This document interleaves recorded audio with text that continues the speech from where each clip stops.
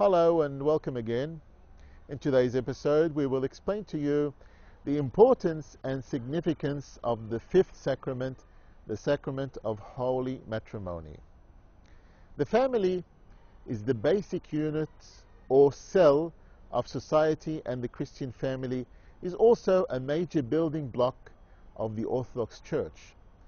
The Church places great importance on families to fulfill its role as a small church, as expressed by the Apostle Paul. When St. Paul greeted Priscilla and Aquila, his fellow workers in Jesus Christ, he also greeted the church that is in their house. He also greeted Nymphas and the church that is in his house.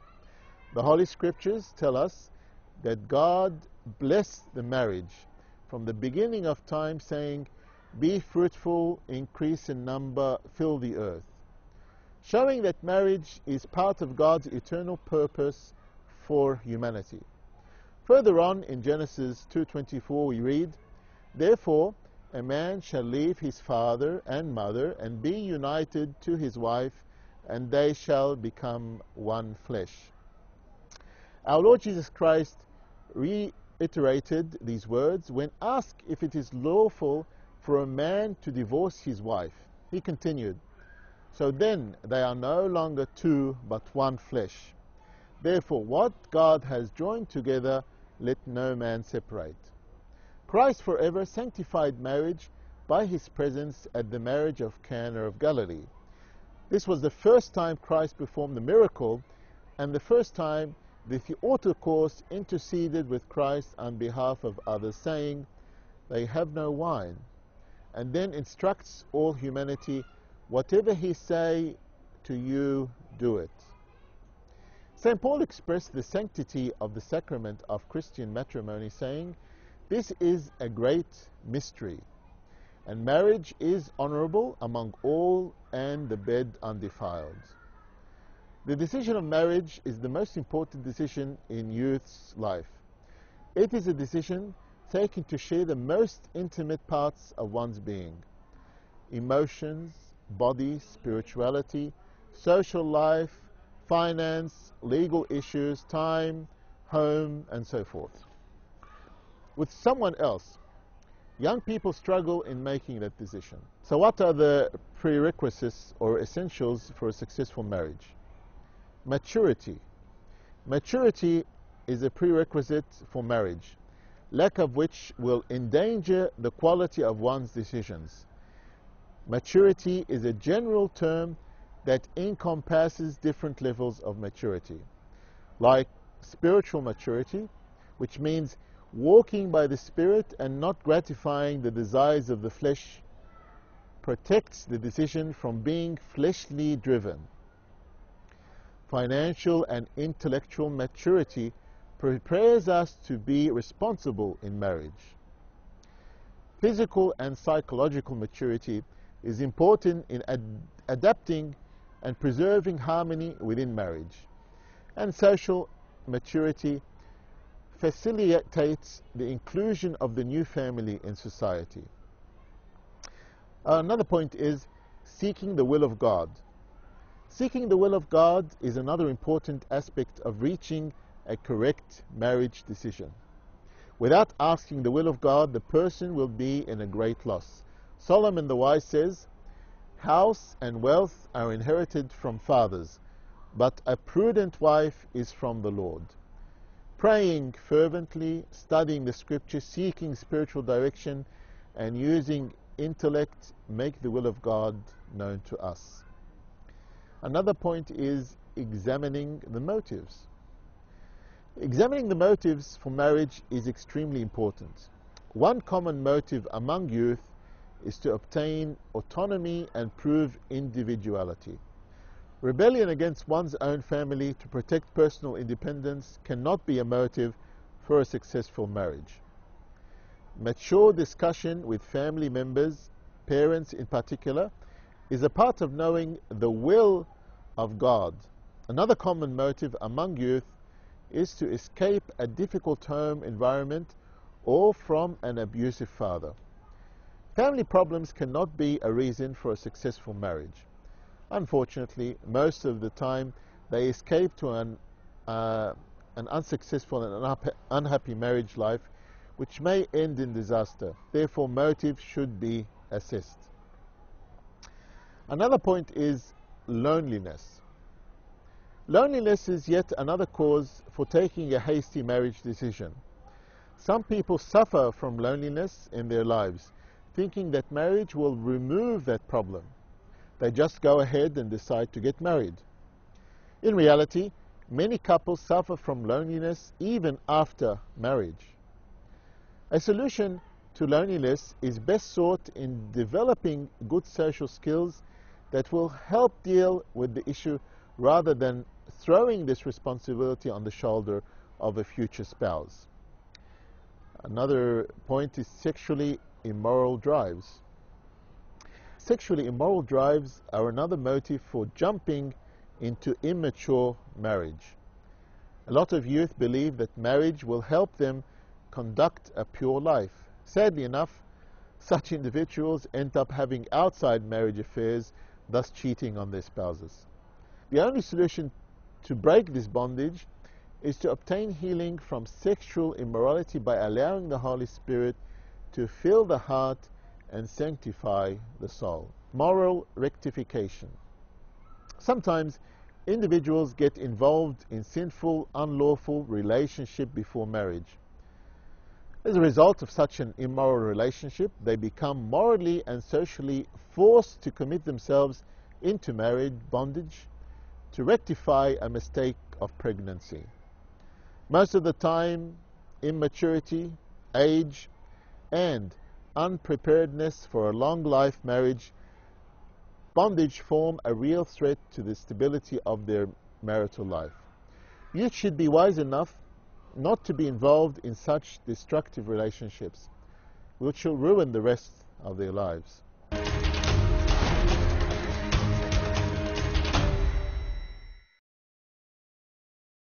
Another point is physical beauty. Individuals who are attracted to the beauty of the flesh take this as a strong reason for marriage. Beauty might make one admire the other, but not necessarily satisfy their needs. A lot of individuals who are married to very beautiful wives suffer from unmet psychological and emotional needs. As Solomon the Wise said, Charm is deceitful, and beauty is vain, but a woman who fears the Lord is to be praised. Another point is compassion-driven marriages. Some people decide to marry out of compassion. They believe that the best way to help someone who has suffered in a life is to marry them. It should be remembered that marriage is unity between two souls in the Lord and not a service offered by one person to another.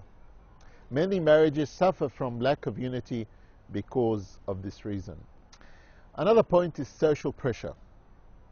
Social pressure, either direct or indirect, whether from the family or friends, have led to many to marry without discerning. Most of the time, such marriages end in separation or divorce.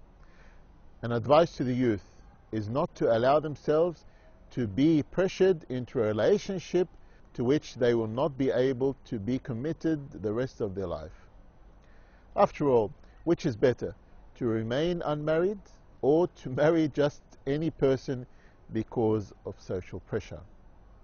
Another kind of pressure that brings about an unsuccessful marriage is that enforced by a controlling person on a compliant one. The compliant or obedient person who does not know how to say no at the right time will yield to the manipulation of the controlling person, thus accepting to enter into an unpromising marriage relationship. Such, ma such marriages will ultimately suffer from unbalanced power in the relationship. Another point is self-pity. After breaking up with a friend or engagement, many individuals rush to get married to prove to the ex-friend that they are lovable and wanted. The danger here rests in the fact that the decision to marry has been focused on the ex-friend, not on the, the current spouse.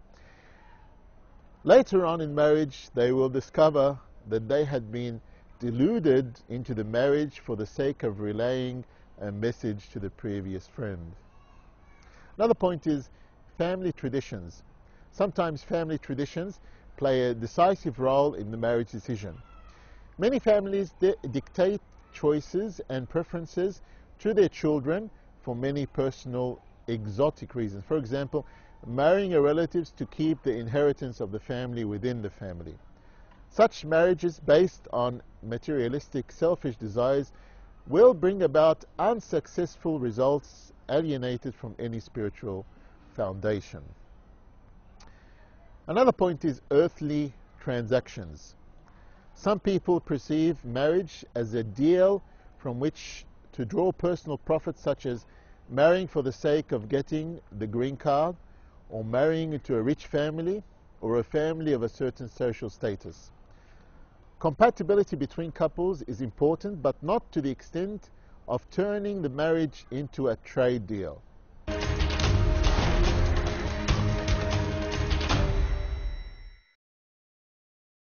Is there a scale between which marriage decisions are based? Sometimes youth get deluded by the items on the scale upon which they base their choices. Examples of such items are physical beauty, compassion, social pressure, self-pity, family traditions, moral rectification, and earthly transactions, to name a few. In conclusion, a spiritually mature person who seeks the will of God from the depth of his heart consults his parents and spiritual father, who examines his motives thoroughly and uses a wise measuring scale of qualities and attributes will definitely be guided by the Holy Spirit in choosing the person with whom he will share his world the rest of his life. Now let's take a look at the rites of matrimony. The matrimonial rite is divided into three parts. One, betrothal or engagement. Two, the ceremony of marriage. And three, the holy matrimony. Let's look at the first one. Betrothal and engagement. It precedes the sacrament of matrimony, but is not of the church's sacraments. Betrothal, or engagement, is a voluntary agreement resulting from a pure and holy love between a man and a woman, who accept the, to marry each other willingly and by their own choice. How long, how long should an engagement period be? The engagement period should be between 7 months to 12 months it is preferable not to extend the engagement for longer than 12 months, as when the engagement period is prolonged, problems may start to occur. So what is the rite of betrothal? The deacons precede the couple into the church, chanting the hymn, O King of Peace. The fiancée, or the female, stands on the right side of her fiancé. And together they proceed to the place assigned for the prayers, whether it be in the church or at home. The priest holds the two rings in his left hand in a red silk ribbon and says the following prayers together with three signs of the crosses. On the first sign of the cross, the priest says, In the name of our Lord, our God and Savior Jesus Christ, the founder of the laws of perfection, we declare at the at this Orthodox ceremony the betrothal of the Blessed Orthodox Son, his name, to the Blessed Orthodox Daughter, her name. The priest makes the sign of the cross on himself, and then on the couple, and then on the rings and jewelry, saying, In the name of the Father, the Son, and the Holy Spirit, the one God, Amen. Blessed be God, the Pantocrator, Amen. Then the congregation prays the Our Father. Then he repeats this three times while saying, Blessed be his only begotten Son, Jesus Christ our Lord. On the second time, and blessed be the Holy Spirit, the Paraclete, on the third time. After that, the priest prays the prayer of thanksgiving, and upon finishing, the deacons chant the hymn Chenevran. During the chanting, the priest blesses the rings and allow both of them to put them in their fingers. Then he prays a special prayer for blessings and asking God to complete this celebration in peace.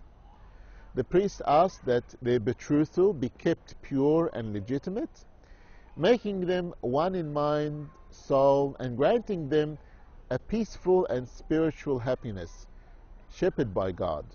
Finally, everyone prays the Lord's Prayer, then the concluding prayer, followed by the final blessing. This concludes our episode for today. We will continue our sacrament on marriage in our next episode. God bless you and see you